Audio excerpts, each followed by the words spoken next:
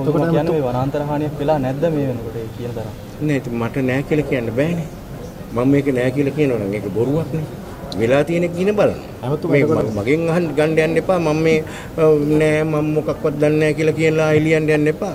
ලිව්වත් කමක් නෑ. මම දන්නවා. මම දැනගෙන තමයි මම කතා කරන්නේ. ඇමතුම එතකොට මේ ආනවිලුන්දාවේ මේ රක්ෂිතය මේ සම්බන්ධව ඒකෙක් කමිටුවක් පත් කළ එකේ වාර්තාව ආවනේ දැමතුමා ඔබතුමාලගේ රජයේම ඇමතිවරයෙක්ගේ සහෝදරයෙකුට මේකේ සම්බන්ධතාවයක් තියෙනවා කියලා. ඒ මට රජයේ ඇමතිවරයෙක්ද නැද්ද කියන එක මට අදාළ නැහැ. මම අත්අඩංගුවට ඒ අත්අඩංගුවට ගැනීම ගැනීම සඳහා කටයුතු කරනවා. ආයි කවුරුනත් අනතුරු තානාන්තර ගැන කිව්වේ නැහැ. නේ දෙන්න කාලයක්.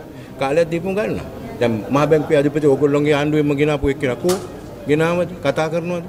මහේන්ද්‍රන් ගැන කොහටද ගියේ? ඕගොල්ලෝගේ ආණ්ඩුවේනේ ගෙනාවේ. බැංකු මංකොල්ල ගැන.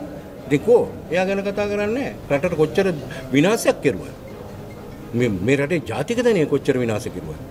ඉතින් ඒ වගේ අර මේ මනුස්සයත් ඇත්තේ නැති වෙනකොට අ, ගන්න ඕනේ. අපේ පෞගිය කාලේ ඇමතිවරු සමහරවිට අත්අඩංගුවට ගන්නවට යනකොට ඒ අත්අඩංගුවට ගන්නම බැරිනවනේ පොලිසියට බාරෙන්. දැන් මේ ඉන්න පුද්ගලෙක් වෙනවනම් එයා පොලිසියට බාර වෙනවනම් හරි අපි අපි සෙවීම නතර කරලා නැහැ. ඒකත් පැහැදිලිව කියනවා.